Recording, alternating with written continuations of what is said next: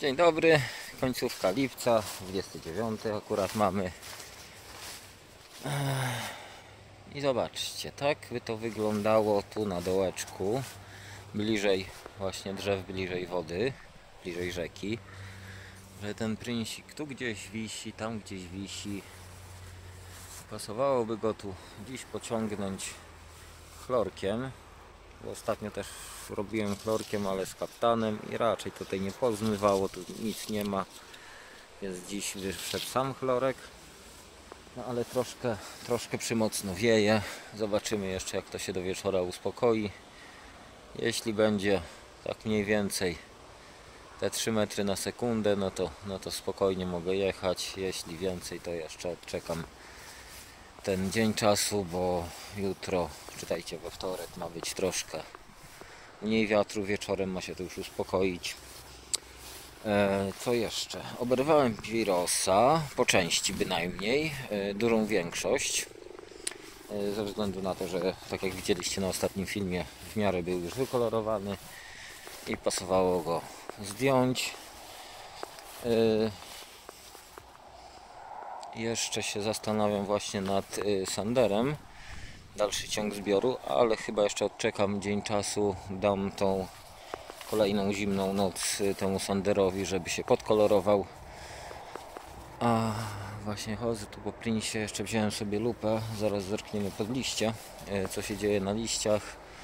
Czy nic tam się nie rozpanoszyło przypadkiem. Na razie wygląda to w miarę dobrze. No, nie widać grzyba, tak jak mówię, nie widać łączniaka, więc jest, jest ok, tak wzrokowo, e, bez lupy. Trochę tych pędów tu gdzieś jest, które pasowałoby, tak jak tu zlikwidować, żeby poodsłaniać te liście. Ale to też Wam mówiłem kiedyś, że jak się znajdzie chwila czasu, to wtedy będę odsłaniał te pędy. Y, Jeszcze jest troszkę za wcześnie na takie odsłanianie pędów, y, gdyż ta operacja słońca jest dość mocna. A pasowałoby nie usmażyć tego, co tu zostało. To teraz tak normalnie tylko z lubki na te liście popatrzę. No i tak szczerze mówiąc, to tutaj na pierwszym lepszym tu gdzieś ze środka coś wyrwę. O, są jakieś plamy. Ale to nie jest parchowe. Nie, to nie jest parchowe. Chociaż może i dowtórniak jakiś się tutaj trafił. Gdzieś wewnątrz. Ale na razie to wygląda pod względem szkodników. Bardziej się tu rozglądam. Na taki bardziej pokręcony liść. No i też on tutaj w miarę czysto wygląda. Zobaczcie. Nie widać nic, żeby coś biegało, a przy tym powiększeniu tej lubki już by było widać. Tu jeszcze większe powiększenie właśnie sobie wziąłem i też no w miarę to tutaj czysto wygląda. Nie widać, żeby coś tu gdzieś biegało na liściach. Więc jak nie widać na lupie, że coś biega, więc powinno być w miarę, w miarę ok tutaj. E, zaraz jeszcze na Sandra podjedziemy. Zobaczę, co tu się dzieje. No i tak jak Wam mówię, tutaj coś tego o, prinsika tam wisi, więc pasuje to dowieść do końca. O, tam takie ładne wierzchołki. Pomiędzy też gdzieś, gdzie nie, gdzie o, tu, tu, gdzieś coś wisi też pomiędzy, więc jakiś tam ten plon minimalny tutaj będzie. Tylko pasuje właśnie to dowieść do końca. O tam widzicie pięknie ordzawione z tego fitnienia mrozowego. Bo tutaj wszystko to co jest czyste, o takie czyste owoce to są wszystko to jest wszystko to co kwitło po mrozie. I tak naprawdę yy, no 80% tych owoców, które tutaj o, pozostawały, to są to y, kwiaty, które się zawiązały, owoce z kwiatów, które się y, zawiązały po mrozie. I tyle. Więcej tutaj więcej tutaj nic nie, nie ma co komentować. No i tak weszłem i patrzę, dam, dam mu jeszcze troszkę czasu żeby się tu coś więcej dokolorowało. Niby jest, byłoby co podebrać, ale jeszcze, jeszcze troszkę się dokoloruje, troszkę się smaku tutaj w nim dojdzie, trochę cukru nabierze i będzie dużo lepszy, no bo to za dwa dni ten owoc na przykład będzie już tak czerwony jak ten tu niżej. Więc te dwa dni, dzień czasu, dwa mnie tu nie zbawią, a bardzo, bardzo pomogą tu w wykolorowaniu. I zobaczymy. Na razie, na razie się nie pali. To co na najgorsze, czyli piros, y, to co było potrzeba zdjąć, zostało zdjęte. O, i tu jesteśmy znowu na górce. Zobaczcie, że tutaj ten pokrój drzewa jest dużo mniejszy i też dużo, dużo więcej już czerwonych gotowych owoców. Także na razie będzie odpuszczenie na dzień dwa na pewno. Wszystko ręka na pulsie, jak to się mówi. E, W gospodarstwie jest co robić, także to ja tu się o brak pracy nie martwię. A dodatkowy dzień czy dwa tu bardzo pomoże temu jabłku, żeby się wykolorowało. I mamy wszystko. 31 lipiec 2024 Ech, Zbieram Sisi Reda. Pierwszy raz w ten sposób, tak wcześnie podrywam Sisi Reda. E, Mówiłem Wam już, że on też tutaj troszkę dostał gradem, to nawet widać na niektórych, o. Ale co? Chcę po prostu poderwać, żeby mi to nie spadło, e, co też reszta się będzie lepiej kolorować. E, Troszkę podrośnie jeszcze reszta. No jak możecie zobaczyć, kolor jest tam, gdzie powinien być. Smak też, musicie uwierzyć. Bo smaku kamera nie odda, ale kolor może oddać. Więc widzicie. E, Sandera też troszkę tam już zebrałem dziś. No ale tutaj właśnie nie chcę mordować reszty ludzi. Czytajcie taty. I weszłem sobie sam tutaj na Sisi Reda teraz, żeby go poderwać. No bo tutaj nie trzeba kto wie ile osób do tego. A trzeba to zrobić, trzeba go poderwać, żeby nie spadł. I tyle w temacie. Jeszcze może nie wszystkie owoce do końca się chcą urwać tak jakbym ja to chciał, widzicie. On lubi spaść. Może być tak, że on się dzisiaj nie chce rwać, a jutro te owoce mogą być na ziemi. No, taka to odmiana. On tak lubi. Ale tudzież trzeba troszkę go odciążyć, poderwać i będzie dużo lepiej. I teraz powrót drugą stroną. Takie coś od razu na ziemię, żeby mi to do skrzyni nie wlazło.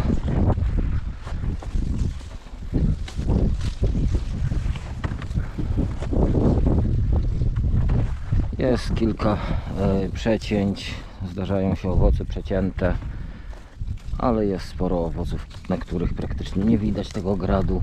Gdzieś ten CC Red w sumie najlepiej przyjął e, ten grad, chociaż tam jest sander, to samo pole, ta sama wysokość, ale jednak jabłko jest już troszkę twardsze i po prostu lepiej zniosło gradobicie. Także 31 lipiec, nie sierpień, lipiec. Normalnie, normalnie Sisi Reda w normalnych warunkach zbiera się w lipcu. Przepraszam, normalnie Sisi Reda zbiera się w sierpniu, pod koniec sierpnia, nawet we wrześniu. No a teraz jest tak, a nie inaczej.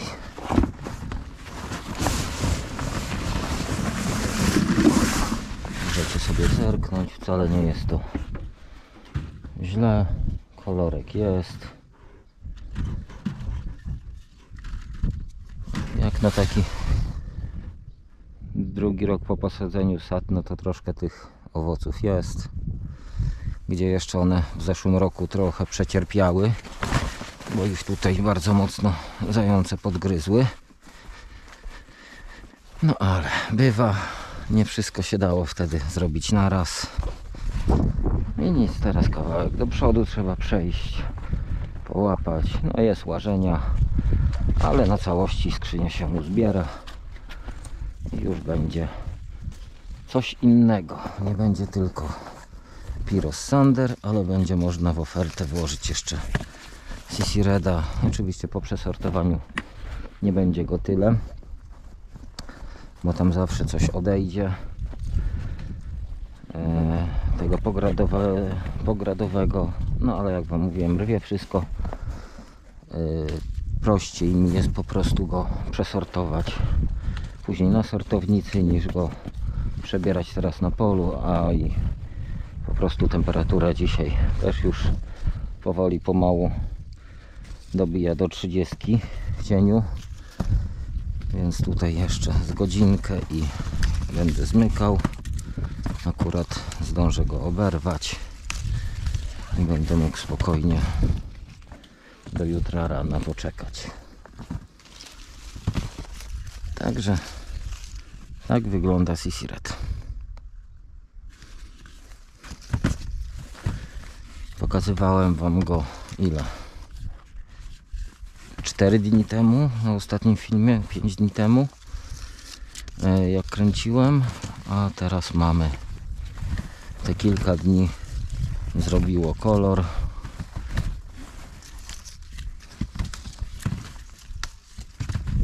I tak wyglądają letnie odmiany. E, nie każdy lubi letnie odmiany nie każdy je produkuje E, dają wagowo troszkę mniejszy plon ale e, jakby to powiedzieć jest to urozmaicenie zwłaszcza typowo jak dla mnie gdzie e, mam ograniczoną tą bazę przechowalniczą a nie chcę nie chcę rozbudowywać więcej no bo to są koszta dosyć duże koszta żeby kolejną nową komorę postawić czy coś żeby to przechowywać.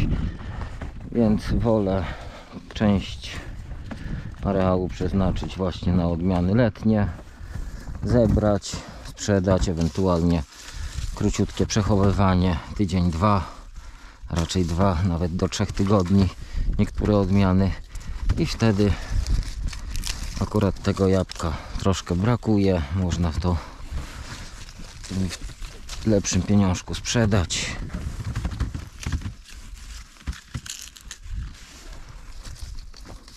Więc tak to wygląda bynajmniej u mnie. E, Pirosa praktycznie całego już zebrałem. Tam zostało może jeszcze jedno jeden zbiór, ale to będzie taki bardzo słaby ten ostatni zbiór.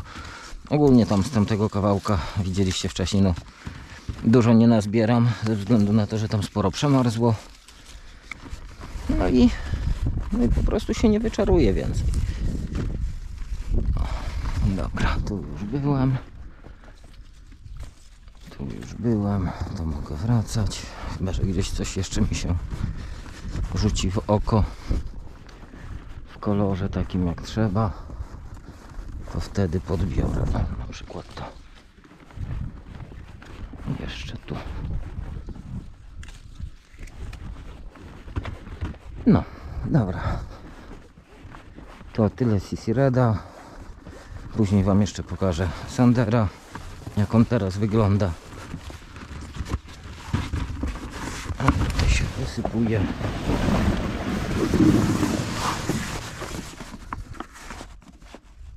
I już wam pokazuję z bliska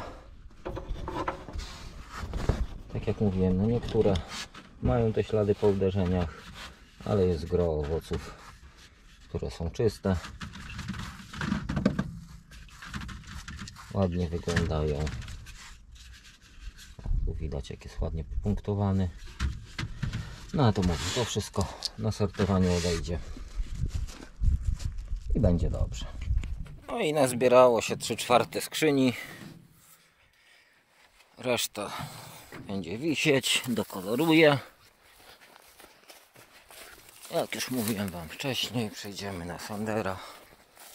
Idę tutaj na Sandera, tylko jakaś dziura by się przydała. Tu tak, doły tu przerwane kawałkiem. Ze stałej góry, jak widzicie. Tu dwa rzędy są poderwane.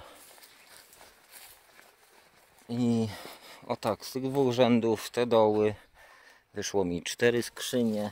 Więc to tak na spokojnie się tutaj tego troszkę towaru nazbiera. A tu mamy już nierwany. Także też trochę wisi, dokolorowało się, no ale to już będzie kontynuowane jutro. No i jak widzicie wielkościowo też on tutaj dorasta ładnie. Także trochę tego towaru jednak się uzbiera na tym kawałku. No, tak jak Wam mówiłem. Jedyny normalny kawałek w planowaniu u mnie.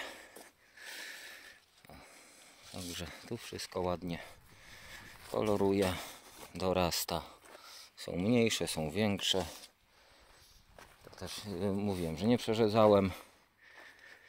No ale zobaczcie, jest kolorek, jest kolorek, jest towar, jest towar. Teraz go ładnie powoli zdjąć, przesortować i sprzedać. Także tak by to wyglądało na koniec lipca. To też, mówię, Sandera zazwyczaj zbierałem pod koniec sierpnia, a tu mamy końcówkę lipca i tego towaru gotowego do zbioru jest dosyć sporo. E, Tak jak Wam mówiłem wcześniej, e, dlaczego letnie odmiany? Po prostu e, nie chcę rozbudowywać bazy przechowalniczej, a gdzieś te letnie odmiany zawsze w domu były i zawsze tam jakoś się na nich jakiś ten pierwszy pieniądz był. Oczywiście zanim swego czasu akurat na tym polu jeszcze były brzoskwinie, no ale to było ładnych parę lat temu. I ta brzoskwinia tych ładnych parę lat temu też swoje kosztowała. No ale to inny temat. Teraz już zostałem tylko na jabłku. Pozdrawiam, trzymajcie się i do następnego filmu. Cześć.